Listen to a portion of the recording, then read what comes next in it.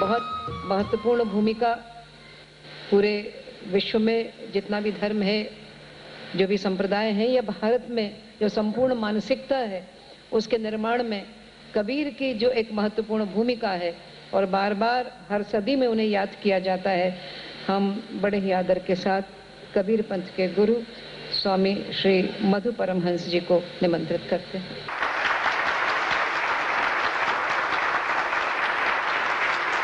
आदरणीय अध्यक्ष महोदय एवं विद्ध बंधुओं आज का विषय सेवा संगठनों का अहिंसा समवाय में सहयोग है। सबसे पहले जब हम अहिंसा की बात करते हैं तो हमें जानना होगा कि हमारी अहिंसा को किसने दूषित किया।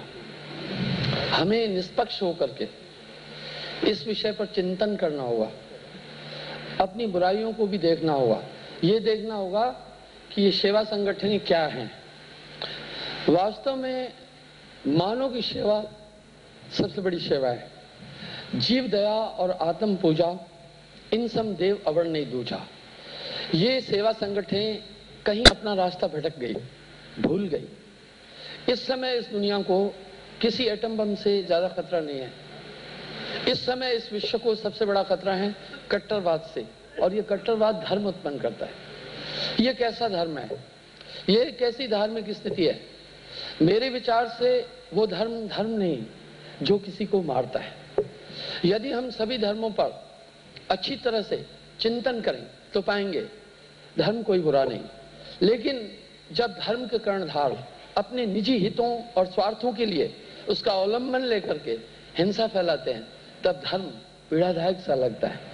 यदि हम हिंदुत्व की तरफ़ चलें, देखें तो हिंदू धर्म, प्रथम एक बात कह रहे हैं, अहिंसा परमो धर्म है। उसमें हिंसा की कोई जगह नहीं है। और समानता की बात कर रहा है। इस्लाम की तरफ़ अगर हम देखें तो इस्लाम धर्म कह रहा है, अगर आपका पड़ोसी भूखा है तो आप सोए नहीं, आप रोटी न खाएँ, पहले उसे खिलाएँ। हम किस धर्म को खराब कहें? अगर हम सिख धर्म को देखें तो बड़ा सेकुलर धर्म है। कैसे? पाँच अलग अलग जातियों के लोगों को लेकर उन्होंने एक मानव धर्म का सृजन किया। गुरु नानक देव जी अपने एक तरफ़ भाई बाला को खड़ा किए, एक तरफ़ मर्दाना को। ये किस बात का द्योतक था? एक तरफ़ हिंदू को खड़ा किया था, एक तरफ़ मुसलमान को। यदि हम अहिंसा की बात देखें तो जैसा कि अभी साध्वी जी ने इंगित किया कि इस संसार में अहिंसा का प्रचार करने के लिए युग युगंत में महापुरुषों का अवतरण होता रहा। लेकिन वर्तमान में और इस स्थिति में यदि देखें तो अहिंसा पर सदगुरु कबीर साहब का एक विशेष स्थान है अहिंसा के क्षेत्र में। आइए हम देखते हैं, सेवा संगठन अहिंसा में क्या अपना सहयोग दे सकती हैं। ये संगठनें धीरे धीरे भटकती गई। इस समय सेवा संगठनें भटक करके कट्टर धार्मिक रूप धारण कर चुकी हैं और इस कट्टरवादता से मानवता को बहुत बड़ी क्षति पहुँच रही है। हम मानवता की रक्षा कैसे करें? दो तरह से मनुष्य किसी को समझाता है। पहला एक तरीका है, हम शिक्षा द्वारा, वाणी द्वारा किसी को समझाते हैं। एक उत्तम और तरीका है, आचरण द्वारा। कहनता नर बहुते मिले गहनता मिला न कोय, वह कहनता वह जान दे, जो न गहनता होए आज हम देख रहे हैं कि एक स्थिति हमारे देश में फैली है। एक बार दो महात्मा जा रहे थे, गुरु और शिष्य। तो किसी जगह पर बड़ा शोर हो रहा था। किसी ने कहा, भाई, ये शोर कहाँ हो रहा है? शहनाई कहाँ बज रही है? और क्या हो रहा है ये? बोला, ये वैरागी जी के यहाँ नाटक हो रहा है। देखिए, वैरागी जी और नाटक हो रहा है। एक जगह पर बड़े बच्चों का शोर हो रहा था। गुरु शिष्य से कहा, भाई, ये कहाँ पर शोर हो रहा है? बोला, ये ब्रह्मचारी जी के बच्चे खेल रहे हैं। हो, ब्रह्म, ब्रह्मचारी जी और इतने बच्चे उसके खेल रहे हैं? एक बहुत सुंदर कोठी बनी हुई थी बहुत उसका वैभव था। महात्मा जी ने अपने शिष्य से पूछा, बेटे, ये कोठी किसकी है? बोला, ये त्यागी जी महाराज की कोठी है। वाह, आज हम इस स्थिति पर पहुँचे तो राष्ट्र का उत्थान कैसे होगा? जिन्होंने शांति का संदेश देना है, उन्होंने हथियार उठा लिए और हिंसा पर उतारू हो गए। ये थोथा हो गया हिंसावाद हमारा। और इससे क्या हुआ? हर मानव को खतरा हुआ। सबसे पहले देखते हैं, हमारी अहिंसा को, हम हम सब अहिंसा हम सब शांति चाहते हैं। ये शांति क्या चीज़ है? हम सब वैचारिक शांति चाहते हैं, जीवन में शांत जीना चाहते हैं और शांत रहना चाहते हैं। अब शांत रूपी एक महल में हम सब निवास करना चाहते हैं, वहाँ सुख है। शांति की, का महल बनाने से पहले हमें एक चीज़ की ज़रूरत पड़ रही है, अहिंसा की। क्योंकि अहिंसा वो नींव है जहाँ पर हम शांति का मकान बनाएँ। क्योंकि जब हम मकान बनाते हैं तो बिना नींव के नहीं बनाते, वो गिर जाएगा। इसलिए शांति, शांत जीवन के लिए हमें अहिंसा की नितान्त आवश्यकता पड़ी। सबसे पहले हम देखते हैं नॉन वायलेंस पर जाने से पहले कि हिंसा कहाँ से उत्पन्न होती है। हिंसा का कारण दो चीज़ें अहंकार और लोभ। आप देखें जब से हमारे देश में धर्मगुरु हमें अपनी बुराइयों को देखना है, मेरे विचार से समाज में समझने वालों की कोई कमी नहीं है। समझाने वालों की नितांत कमी है। समझने वाला पहले ये देख रहा है, जो मुझे समझा रहा है, वो कितना अनुकरण कर रहा है। जब समझाने वाला अनुकरण नहीं कर रहा है तो समझने वाले पर कोई असर नहीं पड़ेगा। इसलिए कबीर साहब अपनी वाणी में कह रहे हैं कहनता नर बहुते मिले गहनता मिलान कोय वह कहनता वह जान दे जो गन, जो न गहनता होए कहने से क्या फ़र्क पड़ता है? अगर गहन करने की वृत्ति नहीं है। दो चीज़ें आ गई। जब से हमारे देश में सेवा संगठन क्या है जो मानव की सेवा करती है मानव की सेवा क्या है? मानव की सेवा दो तरह से है। एक तरह भौतिक एक आध्यात्मिक। भौतिक में मानव सेवा है हम उनके लिए सुख सुविधाएँ पैदा करें बाकी चीज़ें पैदा करें, उनके सुरक्षा का हम ध्यान दें और उनके कल्याण के लिए कार्य करें, जल और मूल सेवाएँ जो हैं स्वस्थ की। वो सेवाएँ, ये सब तो उसके लिए हमारे समाज ने एक संस्था बनाई है राजनीतिक। ये तो उनका काम है। दरअसल अध्यात्म भाव से सेवा संगठने जब मनुष्य को, समाज को चेतन करेगी, वो लाभान्वित होगी। आइए हम देखते हैं, हिंसा का उद्गम कैसे हुआ? हिंसा का उद्गम ही कट्टर धर्मवादता के द्वारा हुआ है। आइए हम कुछ अतीत को देखें और वर्तमान से उसका समन्वय करें। थोड़ा समय पहले भोपाल का एक हादसा बताता हूँ। 40-50 लड़के, जब बाबरी मस्जिद ढही 40-50 लड़के का गुट बना दोनों पक्षों से। कुछ हिंदुओं का तो कुछ मुसलमानों का। वो क्या कर रहे थे? क्योंकि मेरा निवास स्थान भी भोपाल में है। वो क्या कर रहे थे? उनके साथ में हथौड़े थे, हथियार थे, शस्त्र थे और यंग लॉर्ड था। वो सबसे पहले क्या कर रहे थे? वो जहाँ हिंदू बहुल क्षेत्र था, वहाँ मुसलमानों के इलाके में जाकर उनके घर को तोड़ रहे थे और हथौड़ों से तोड़ रहे थे। उसके बाद अंदर जाते थे, पहले लूटिंग कर रहे थे।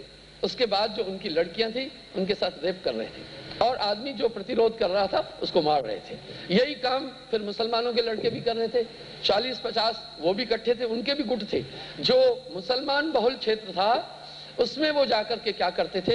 हिंदुओं के इक्का दुक्का घर को तोड़ते थे। हथौड़े से तोड़ते थे और घर को तोड़ने के बाद में अंदर जाते थे, पहले पुरुष को मारते थे और लूटिंग करते थे, उसके बाद में रेप कर रहे थे। ये धर्म है।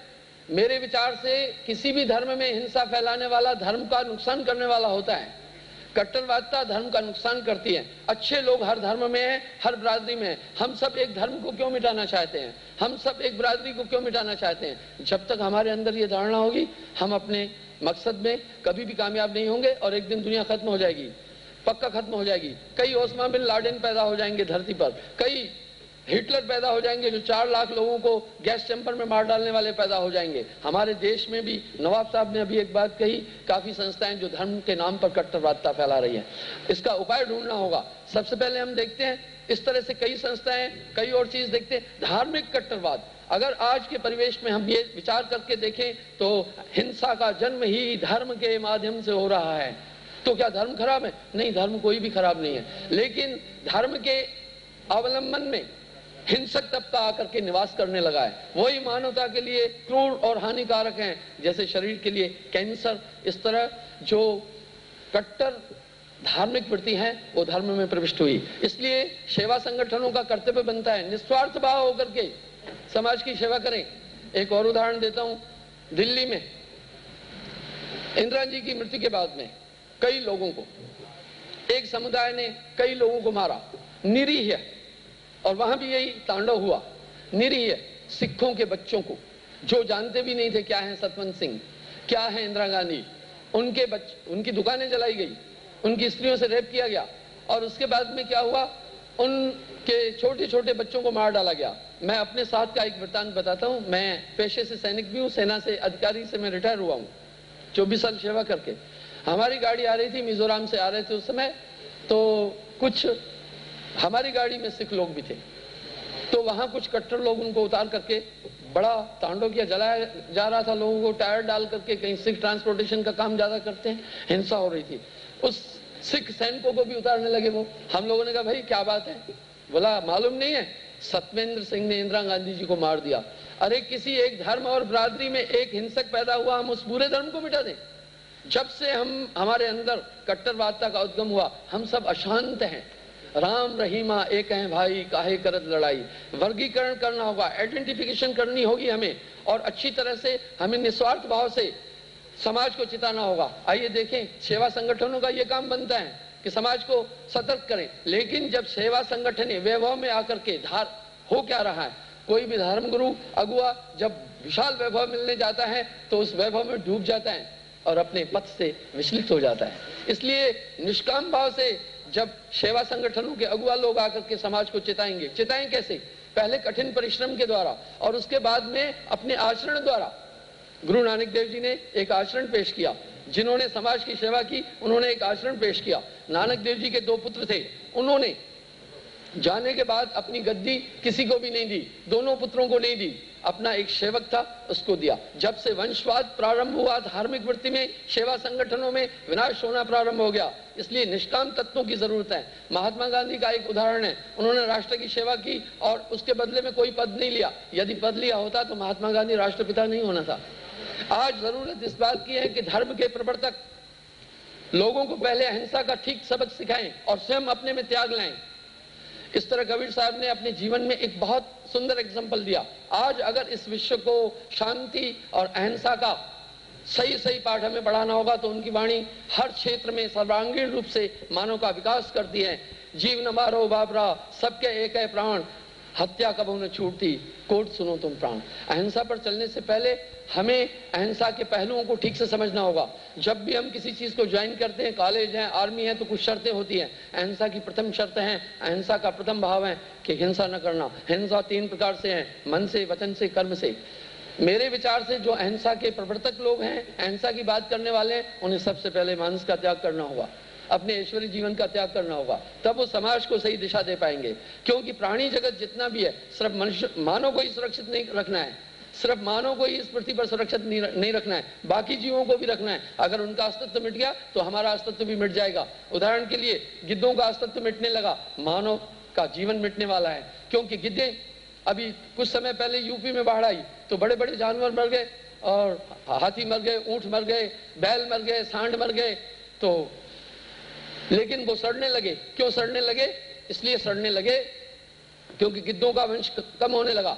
छोटे छोटे जो जानवर मर गए थे, उनको कौए खा गए, चीले खा गई, बाकी जानवर खा गए। उन सबको खाया नहीं गया क्योंकि वो पड़े, सड़ रहे थे। इससे बीमारियाँ फैली, कालरा फैली डिसेंट्री फैली इंसेफ्लाइटिस फैली और कई रोग फैले क्योंकि वो वहाँ सड़ने लगी। देखा, गिद्धों का वजूद हमारे जीवन के अस्तित्व के लिए कितना महत्वपूर्ण है। सांपों को भी मत मारिए। अहिंसा का जहाँ प्रश्न है, पहले आप अहिंसक बने, आप अपना आचरण रखें। मैं अहंकार वश नहीं बोल रहा हूँ। हमारी संस्था जम्मू कश्मीर में अहिंसा है। मैं शशि भूषण जी से प्रार्थना करने वाला था कि ये शांति समवाय अहिंसा सम्मेलन आप जम्मू कश्मीर में करते तो कितना अच्छा था। हमारा पंथ वहाँ समानता की बात कर रहे हैं। चार पाँच लाख लोगों को दीक्षित किया है और वहाँ इस समय बड़ी हिंसा का तांडव और माहौल है और मैं उसी क्षेत्र में रह करके समाज की सेवा कर रहा हूँ और हमारे पंथ की ये उपलब्धि, क्योंकि कबीर ने ही, सदगुरु कबीर ने ही अहिंसा का लक्ष्य इस मानवता को दिया। महात्मा गांधी को अगर आप देखें तो महात्मा गांधी ने पूरे रूप से कबीर साहब के पूरे गुणों को अनुकरण किया। अभी अभी सरदार साहब ने बड़ी अच्छी बात कही लेकिन कह रहे थे गुरु नानक देव जी ने सबसे पहले सेकुलरिज्म की बात कही। गुरु नानक देव जी का जन्म 1455 में और कबीर साहब का जन्म तेरह में हुआ। संतावन साल पहले वो आए हैं नानक देव जी से पहले। उन, मैं नानक देव जी को नहीं आदर्श मानता हूँ लेकिन इस संसार को अहिंसा और समानता की बात कही तो कबीर साहब ने, हिंदू कहे राम राम, मुसलमान रहमाना, आपस में दोनों लड़े, राम को ही ना जाना, दिल में खोजो, दिल में खोजी, यही करीमा रामा।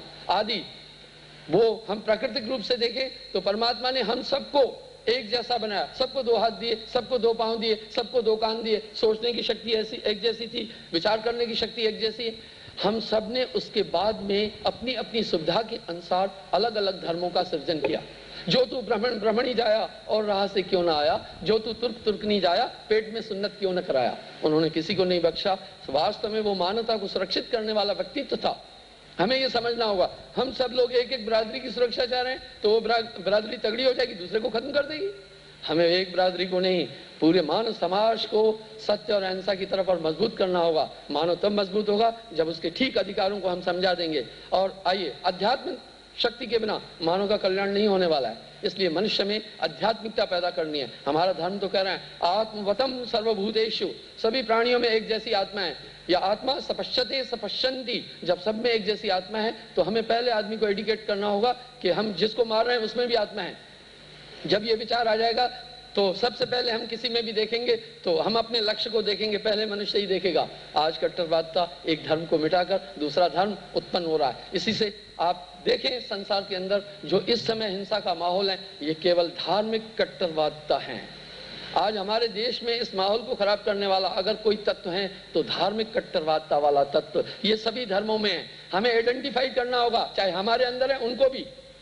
बाकी धर्मों में उनको भी मेरे विचार से भारत में किसी सेना की ज़रूरत नहीं। भारतीय सेना में मैं रहा हूँ, वहाँ तीन सेनाएँ जो धर्म के नाम पर अलग अलग सेनाएँ और टुकड़े बने हुए और राष्ट्र को बड़ी क्षति पहुँचा रहे हैं और व्यवस्था को बहुत खराब कर रहे हैं। इससे मानव जाति पूरी खतरे में आ गई है, धार्मिक अंधता के कारण और धार्मिक कट्टरवादता के कारण। इसलिए जितने भी शांति का भाव और अहिंसा, समवाय का सही अनुकरण करने वाले अहिंसा का लक्ष्य तो कबीर साहब ने उस दुर्दशा के समय दिया था, जब भारत में home to home, street to street और मैन टू मैन फाइटिंग चल रही थी। सिकंदर लोधी आए थे, मुगल और हिंदू संस्कृति दोनों आपस में टकरा रही थी। मुसलमान हिंदुओं को मिटाना चाहते थे और हिंदू मुसलमानों को मिटाना चाहते थे। ऐसी स्थिति में उस महापुरुष ने आकर संसार को संदेश दिया। और राम रहीमा एक है भाई, काहे करत लड़ाई। इसी शिक्षा और अनुकरण के द्वारा हम समाज में अपने लक्ष्य की प्राप्ति करेंगे। अन्यथा पूरा समाज खतरे में पड़ जाएगा, क्योंकि ओस्मा बिन लाडेन कह रहे हैं कि हमारा एक धर्म महजब खतरे में है। हम पूरी दुनिया को मिटा देंगे, चाहे जैविक हथियार हो या चाहे कुछ हो। अमरीका कह रहा है, हमारा धर्म खतरे में हम पूरे इस्लाम को मिटा देंगे। ये है धार्मिक कट्टरता। इस समय एटम बम से विश्व को खतरा नहीं है, धार्मिक कट्टरता से है। और संतों ने और साहब ने आकर धार्मिक कट्टरता को चैलेंज की। कंकड़ पत्थर जोड़कर मस्जिद यही बनाए तापर मुल्ला बांग दे क्या बहरा हुआ खुदा? कबीर ने किसी को नहीं बख्शा। दुनिया ऐसी बावरी, पत्थर पीस पूजन जाए, घर की चक्की कोई न पूजे, जाको पीसो खाए। दिल में खोजो, दिल में खोजी, यही करीमा रामा। जब हम इस लक्ष्य की ओर जाएँगे, तब ये हमारा लक्ष्य पूर्ण हो पाएगा। अन्यथा नहीं। धन्यवाद।